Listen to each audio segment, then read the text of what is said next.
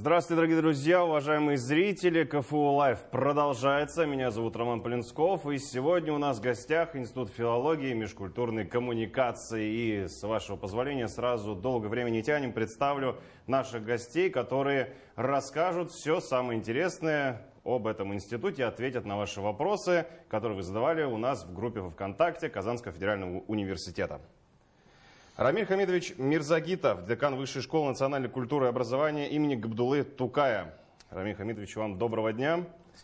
И Лилия Ринатовна Мухамедзянова, заведующая кафедрой татаристики и культуроведения. Лилия Ринатовна, вам тоже доброго дня. Всем добрый день.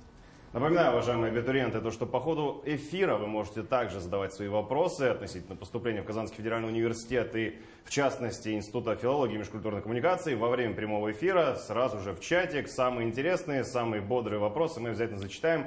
И наши гости, наши эксперты, представители этого прекрасного института постараются на них ответить.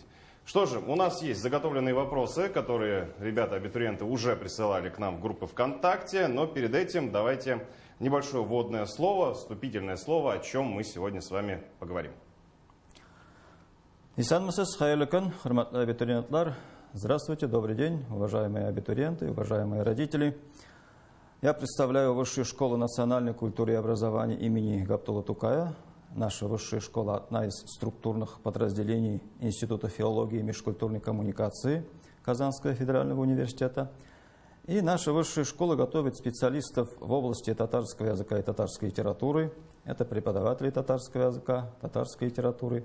Это преподаватели музыки, изобразительного искусства. Это дизайнеры, преподаватели иностранного языка, иностранные языки. Турецкий язык, английский язык, китайские языки. Журналистов готовим. Э, с этого учебного года начнем подготовку специалистов в области рекламы. И с 2018 года готовим преподавателей билингвалов, а с 2020 года преподавателей полилингвалов по таким профилям, как математика, физика, э, информатика, история, обществознание, начальная школа, дошкольное, дошкольное образование, музыка и иностранные языки. В нашей высшей школе в настоящее время реализуется около 20 образовательных программ бакалавриата – около 10 программ магистратуры и несколько э, образовательных программ аспирантуры. Что касается приема 2022 года, в этом году планируем набирать на следующее направление. Э, по направлению подготовки специалистов в области татарского языка и татарской литературы, как и прежние годы, набираем две группы. Одну группу набираем по образовательной программе «Педагогическое образование», татарский язык, литература и русский язык. Это у нас новая программа, потому что прежние годы мы набирали на профиль татарский язык, литература, иностранный английский язык. Срок обучения в этой программе 5 лет. Выделено всего 25 бюджетных мест, это одна группа. Вступительные испытания ЕГЭ по русскому языку, по обществознанию и внутренний экзамен по татарскому языку. Э, по татарскому языку экзамен будет проходить письменно в форме тестов. Вторую группу набираем по образовательной программе «Филология», «Татарский язык», «Литература» и «Журналистика». А, эта программа у нас реализуется совместно с акционерным обществом «Татмедиа». Выделено также 25 бюджетных мест. Вступительные испытания здесь русский язык, татарский язык, внутренний экзамен и на выбор абитуриента – абитуриент может подать результаты единого государственного экзамена по одному из вот этих перечисленных дисциплин. Обществознание, история или иностранный язык. Здесь уже срок обучения 4 года. И данное направление у нас ориентировано на подготовку филологов-бакалавров в области татарского языка и татарской литературы и журналистов для работы в разных средствах массовой информации, в том числе и на телевидении, но на татарском языке.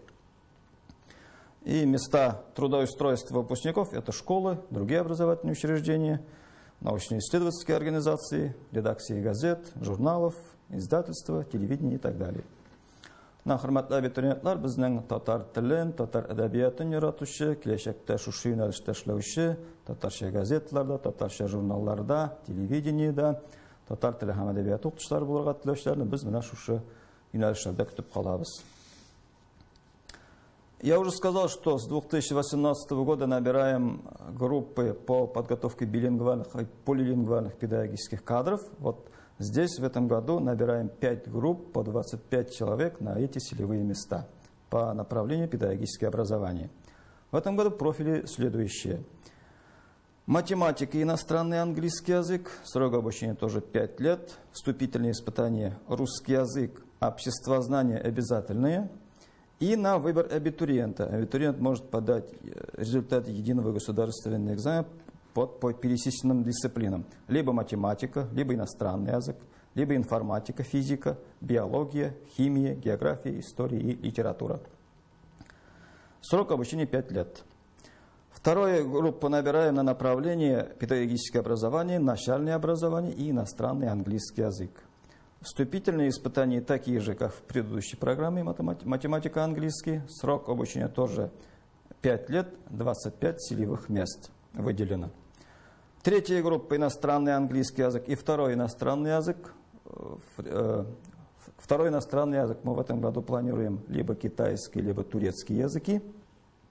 Вступительные испытания для того, чтобы подать документы на это направление, нужно иметь э, ЕГЭ по иностранному языку, любой иностранный язык, по русскому языку и по обществознанию. По этим направлениям мы набирали студентов и прежде годы, например, в 2021 году, а вот следующие две направления это новые. Набираем только вот в этом году впервые. Это одно направ... одну группу набираем на направлении музыка иностранный английский язык, и второе направление ИЗО, и, э, ИЗО и иностранный английский язык.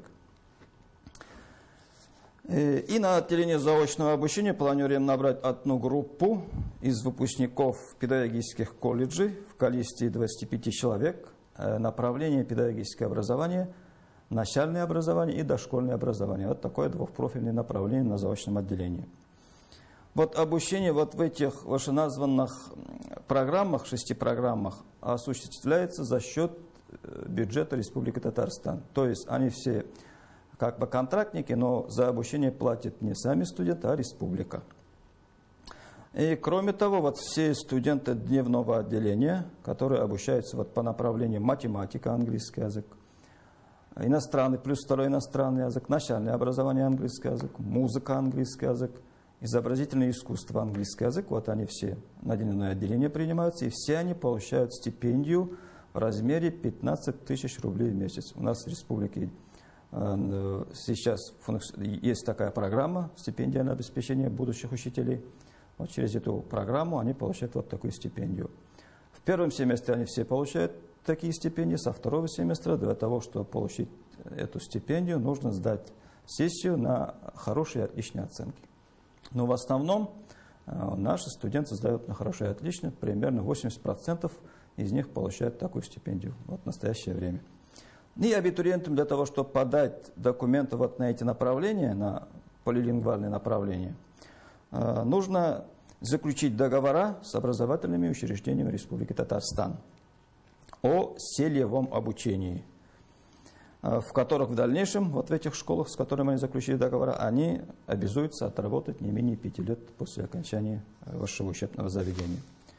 Тамыр тапқыр қабатлап айтам, құрметті абитуриентлар, мына бұл юнәлішке кірушілер – киләчәктә мәктәпләрдә берничә телдә укытырга тиешләр. Рус телендә татар телендә һәм инглиз телендә. Шуңа күрә алар килгәндә үк татар телендә һәм инглиз телендә дә күпмедер дәрәҗәдә белем алырга тиешләр. Вот эти направления мы планируем набрать и еще одно направление новое направление. В этом году впервые набираем на направление рекламы и связь с общественностью по профилю копирайтинг и бренд коммуникации – об, этой направлении, об этом направлении, об этой программе более подробно, наверное, расскажет заведующий кафедрой Лидия Ренатовна, доцент нашего института. А, ну, хотелось бы сказать, что это достаточно очень интересное и уникальное направление, потому что такой профиль у нас открывается впервые. И здесь, наверное, э, следует сказать, что да, реклама и пиар у нас реализуется во многих, можно сказать, институтах, и в КФУ в том числе. А, но наше направление как раз отличается тем, что оно более творчески направлено и достаточно интересно и, так скажем, творчески составленный учебный план, где мы хотели, чтобы наш выпускник стал многопрофильным специалистом, который мог стать по окончании этого направления не только пиар-менеджером, но еще и э, мог создавать рекламу в плане разработка графической продукции, графического дизайна и, соответственно, э, создавать ивент-мероприятия с нуля. Э, вообще у нас в учебном плане предусмотрено три модуля. Первый модуль – это, соответственно, филологическое обеспечение, э, где мы э, как раз-таки изучаем непосредственно копирайтинг, э, языковое сопровождение брендинга, соответственно, создание рекламы на русском языке, на татарском языке, и, соответственно, создание текста для рекламы, для ну, интернет-контента и так далее. А второй модуль – это непосредственно разработка уже идет рекламы, создание э, рекламной продукции, э, где как раз-таки э, будут преподаваться различные дисциплины, связанные и с графическим дизайном, и, так скажем, рекламными технологиями, и видеоконтентом. Но плюс ко всему хотела бы сказать, что у нас достаточно хорошо оборудованные компьютерные классы, где ребята как раз-таки смогут заниматься э, и работать в таких э, графических э, редакторах, как и Corel, и Photoshop, и Illustrator, и InDesign. А, вот. И третий модуль – это непосредственно уже брендинг, где как раз-таки идет сопровождение брендинга, создание брендинга и создание торгового интернет-пространства, то есть достаточно очень творческие и интересные дисциплины. Я думаю, что на них будет очень интересно учиться. А, помимо этого, хотелось бы озвучить, наверное, достаточно такую хорошую новость. А, на это направление у нас а, также выделяется 10 целевых мест, на которые тоже ребята могут претендовать. Вот. А, что э, касается других двух направлений, наверное, тоже могу да, более подробно рассказать. Действительно, педагогическое образование по музыке, английскому языку, по как раз изобразительному э, искусству и английскому языку тоже у нас реализуется, и там тоже очень интересны и дисциплины, и учебные планы, и использование компьютерных технологий.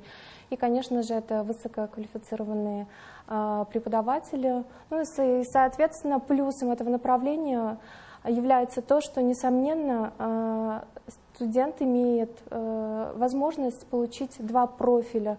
Я думаю, что это очень здорово, когда он может выбирать, работать ему, например, учителем английского языка или, например, изобразительного искусства, либо он будет это совмещать, либо имеет возможность преподавать на английском языке. И также, а, конечно же, мы нацелены а, на то, чтобы наши ребята как раз-таки а, стали высококвалифицированными специалистами и потом смогли работать в полилингвальных школах. Есть, может, какие-то вопросы? Ну, давайте тогда перейдем к вопросам, которые присылали нам абитуриенты и присылают. Я себе один уже выписал. Довольно интересный вопрос, но чуть попозже его зададим. Пойдем по порядку. А, как проходят вступительные испытания по татарскому языку? Где можно найти программу? Экзамен по татарскому языку пройдет письменно, как я уже сказал, ну, в форме теста. Этот экзамен у нас будет в конце, где-то после 15 июля программу. Программа вступительного испытания есть. Его можно найти в разделе «Абитуриент» на нашем сайте. Там, где все программы вступительных испытаний. И еще хочу сказать по подготовке к внутреннему экзамену. У нас после 20 июня начнется курсы, подготовительные курсы по подготовке к этому экзамену. Где-то после 25 июня, наверное, они будут желающие могут записаться через приемную комиссию. Хорошо. И вот еще вопрос как раз-таки добивающий татарский язык, вот эту тему.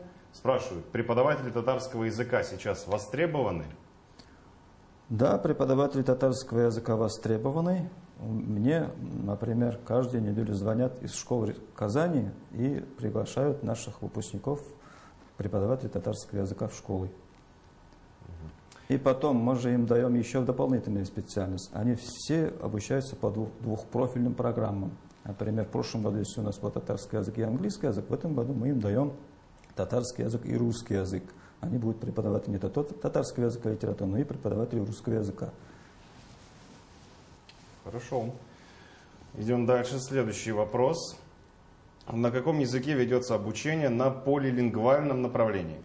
На полилингвальных программах, как я уже сказал, в этом году набираем на 5 на дневное отделение, 5 программ и одно на заочные.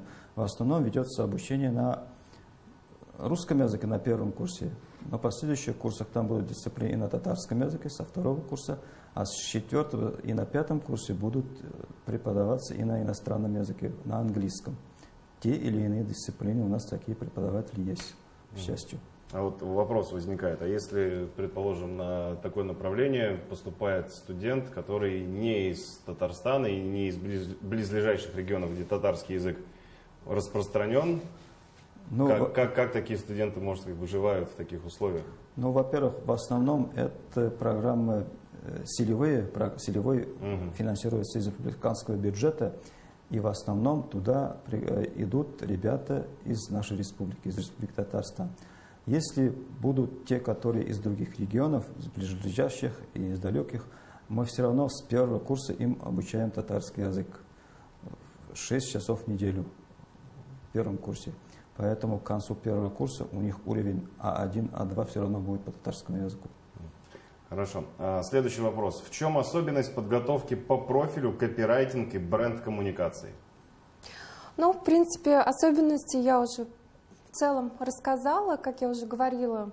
А, тут, э, опять же, хочется, наверное, добавить, что это направление тоже идет э, как Э, такой больше полилингвальной направленности, так как есть необходимость именно в кадрах, которые будут, соответственно, уже э, работать у нас э, в регионе и, соответственно, смогут, опять же, создавать рекламу и вообще работать и на русском, и на татарском, и при необходимости на английском языке.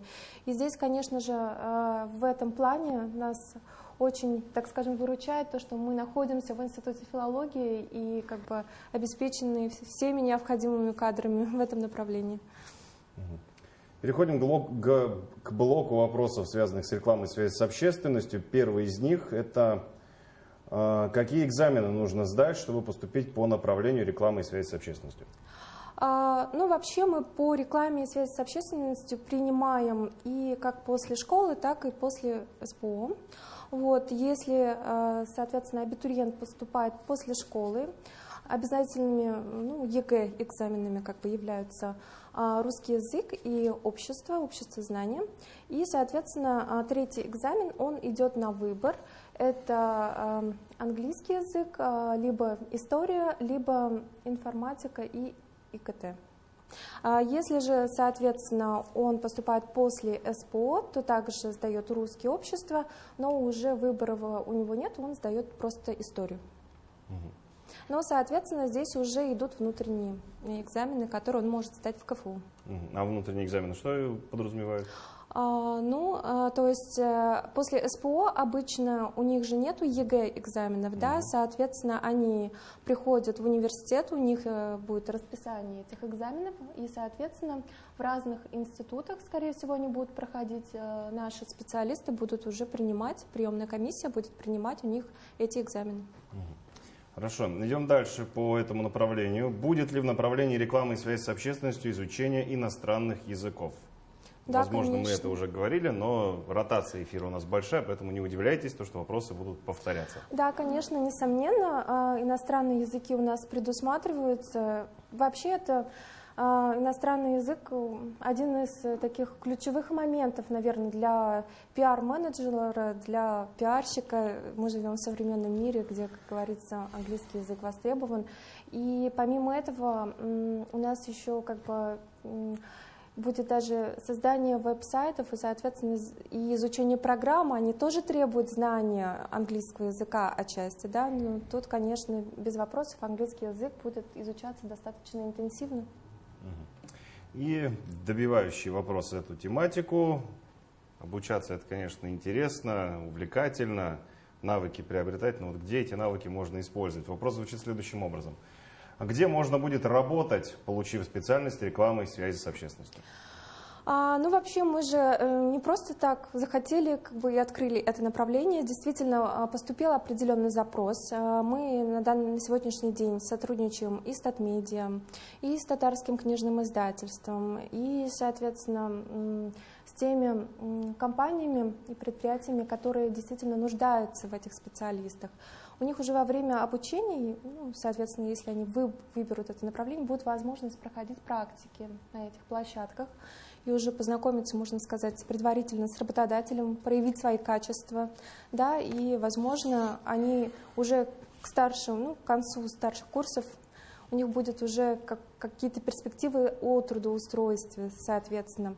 А вообще сама по себе эта специальность, она очень востребована, она очень нужна, потому что э, на сегодняшний день э, вообще вот э, копирайтинг, да, он подробно и так глубоко особо ну, нигде не изучается. И мы очень часто видим грамматические ошибки там, да, при написании текстов и так далее, лексического характера.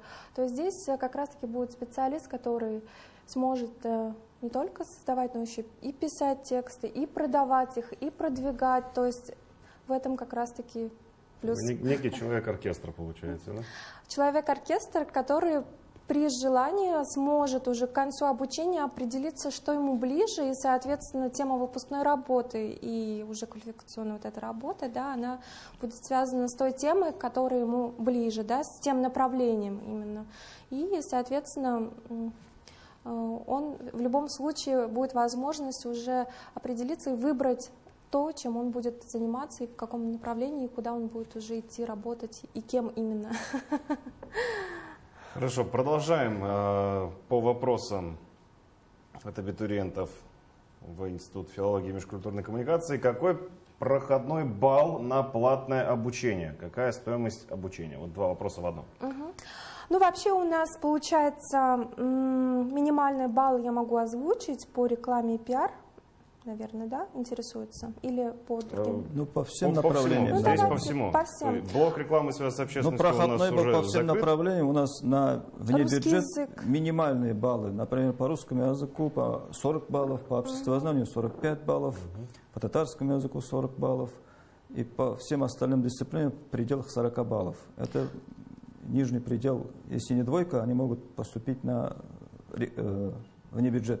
Ну и, соответственно, история идет 30 ба 35 баллов, информатика 44 и иностранный язык 30 баллов. Это если они ну, вот конкретные можно выбирают. уточнить на сайте нашего угу. университета. Здесь, я думаю, а что еще... касается э, при, стоимости обучения, пока угу. приказа, к сожалению, к ну, нового учебного года не вышел, пока у нас на руках нет приказа, но в прошлом году на дневное отделение было э, в среднем 130, 140, 150 тысяч рублей, а на отделение заочного обучения где-то в пределах 60 тысяч рублей. У нас еще есть очно-заочное обучение, да, 70-80 тысяч рублей в год. Ну, вот относительно баллов, я думаю, стоит, стоит дополнить и это проговорить, то, что э, общий балл не нужно смешивать с проходным баллом. То есть можно набрать условно 300 баллов, но по одному из обязательных предметов у тебя нет прохождения порога. Тогда в таком Тогда не случае проходит, не проходит да, данный да. абитуриент. Да. Идем дальше. Следующие вопросы. А какой минимальный балл на вступительных испытаниях по музыке? Там тоже 40 баллов минимальный мм по музыке. А что для музыки надо сдавать?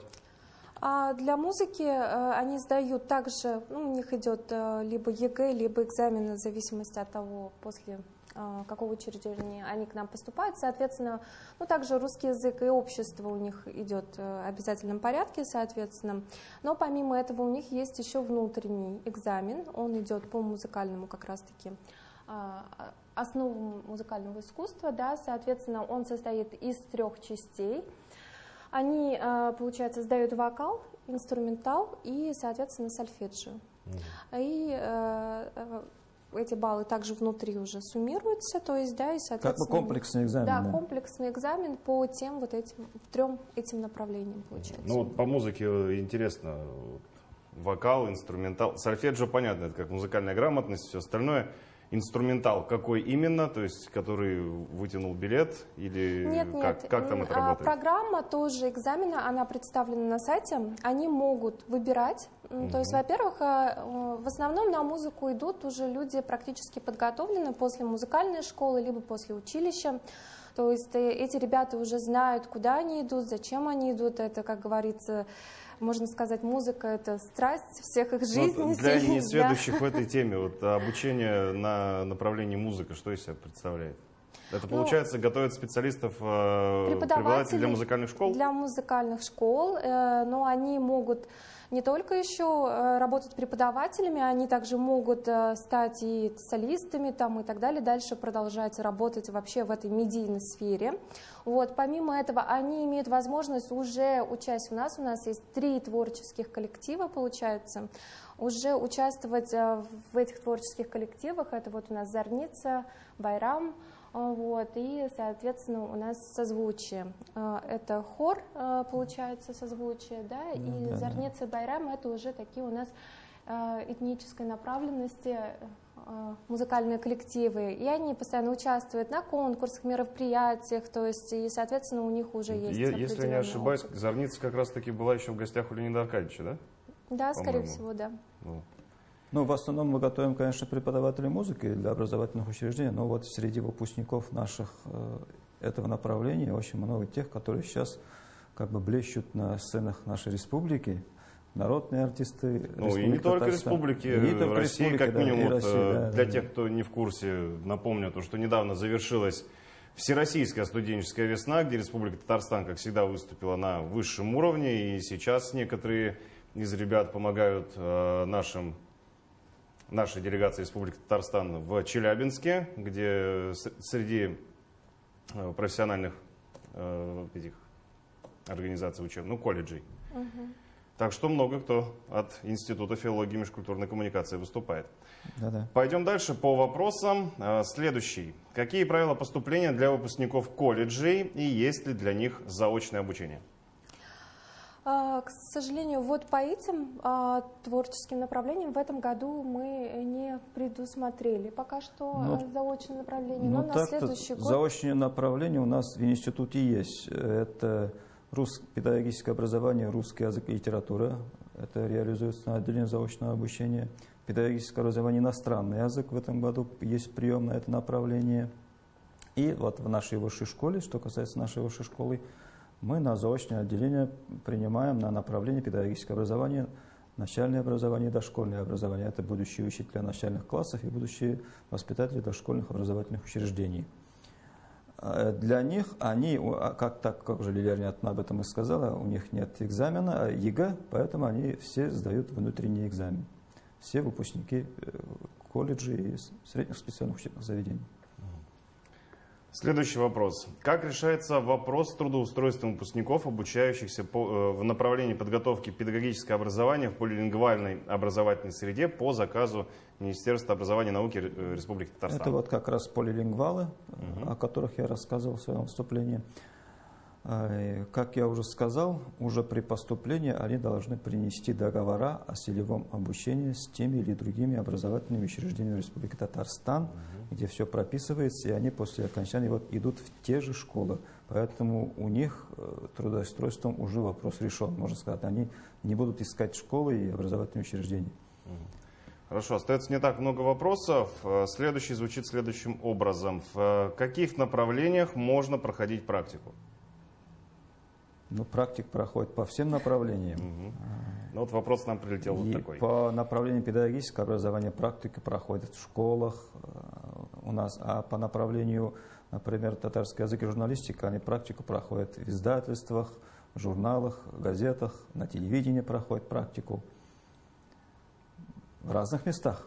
Ну, ну, по всем направлениям есть практика. Там и фольклорная практика, и диалектологическая практика, педагогическая практика, ознакомительная практика. В учебном плане таких практик очень много. производственная Производственная практика. практика, да. Осталось два вопроса, и они выглядят больше предметно, но постараюсь обобщить. То есть в оригинале он звучит следующим образом. В каких... Ой. а, есть ли в вашей кафедре курсы для абитуриентов и преподавателей, ну, скажем, есть ли в вашем институте такая возможность?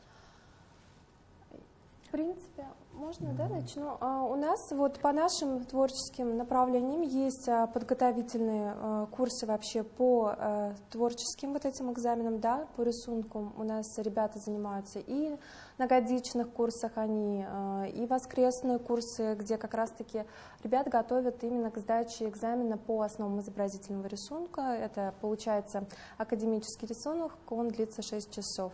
Помимо этого у нас в этом году стартовала, ну, так такая школа PR Star, где как раз-таки э, она была вообще бесплатная, да, и, соответственно, где ребята тоже во время каникул приходили, э, занимались именно, слушали лекции по направлению как раз-таки рекламы и пиар. Вот. И помимо этого у нас есть курсы по подготовке к ЕГЭ были, да, осуществлялись. Да, и по русскому языку подготовки курс ЕГЭ по русскому языку, по литературе были такие курсы на базе Казанского международного лингвистического центра.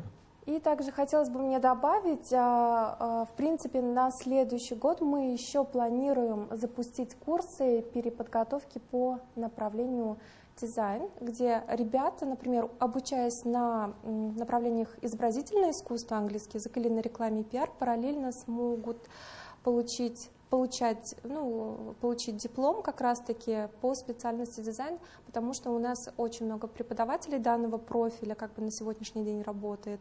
И я думаю, что это многих тоже заинтересует. Еще один вопрос. Как будут проходить вступительные испытания при поступлении в магистратуру? При поступлении в магистратуру по всем направлениям у нас устные экзамены или собеседования. Тоже есть программа вступительных испытаний, а можно найти на сайте нашей приемной комиссии. Хорошо, ну что же, вопросы у нас подошли к концу. Благодарю то, что смогли на них ответить. Перед тем, как завершить нашу программу, несколько слов пожелания абитуриентам, так как до вступительной кампании у нас остается всего лишь 11 дней. Каких-то 11 дней и двойка в очередной раз наполнится переживающими студентами, больше переживающими родителями и родственниками. В общем, пару слов для товарищей, которых мы ждем. Ну, мне бы в свою очередь хотелось бы, конечно же, пожелать успешно сдать ЕГЭ. И не бояться и смело идти вперед, не бояться, что что-то не получится. Если особенно это касается творческих экзаменов, да, то есть они вот у нас как раз предусмотрены, а, я бы порекомендовала им все-таки сдавать э, в очном формате, нежели в онлайн, потому что творческие экзамены, они все-таки имеют определенную специфику, а, где как раз-таки лучшие стороны свои можно показать при очном э, собеседовании. Вот. И, конечно же, мне бы хотелось э, пожелать успехов и, соответственно, не переживать в любом случае. Ну, как говорится, я думаю, что вот э, многие, ну, даже проваливают ЕГЭ-экзамены, потому что излишне волнуются. Я знаю что такие случаи, когда ребята все знают, приходят и просто из-за переживаний не могут ни слова, можно сказать, не написать. Мне кажется, просто в этом случае надо легче относиться к этому, и, соответственно, результат э, будет лучше, и, соответственно, абитуриент сможет раскрыть себя в полной мере. Желаю всем, желаем всем абитуриентам здоровья, успехов и ждем в нашем институте и в университете. Что ж, Рамиль Хамидович, Лилия Ринатова, вам большое спасибо, то, что нашли время к нам сегодня прийти. Надеемся, мы еще по ходу приемной кампании с вами увидимся и подведем итоги. И, как это правильно называется, подскажите мне это слово. Предварительные итоги, вот я вспомнил, и итоги уже окончательные. Расскажите про абитуриентов, кто к вам приходил. На этом все. Это был КФУ Лайв для Института филологии и межкультурной коммуникации. Эфиры у нас продолжаются. Обязательно смотрите, задавайте свои вопросы. И представители институтов и факультета Казанского федерального университета на все ответят. Меня зовут Роман Полинсков. Увидимся, услышимся. До новых встреч. Пока.